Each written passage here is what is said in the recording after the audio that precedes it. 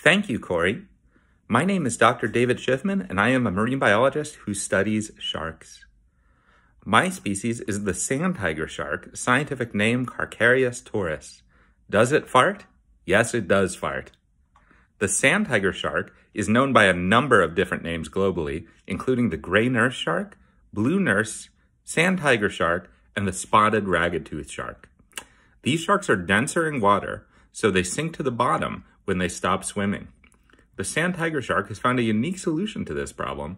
It has been observed in aquariums and in the wild, gulping for air from the surface of the water, and this air is then stored in the stomach, allowing the sand tiger shark to hang in the water column and maintain buoyancy.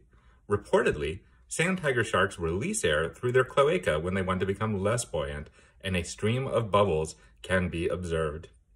This is a similar mechanism to that used by herring in communication, but a lot less noisy.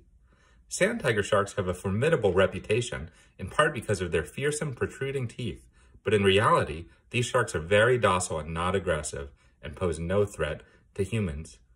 I pass it on to Jonathan.